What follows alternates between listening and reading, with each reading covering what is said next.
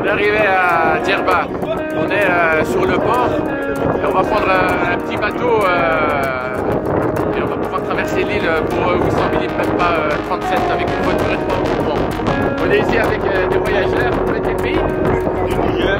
Le Niger. Il y a des Sénégalais euh, qui sont ici, des Maliens.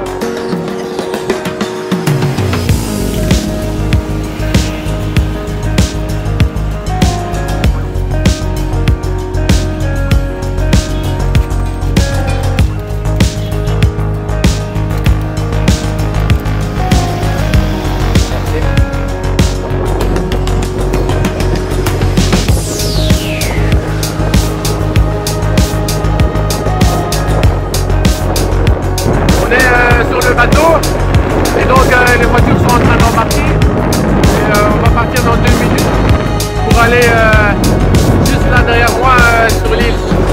Elle est même pas à 4 km de la terre ferme. Tout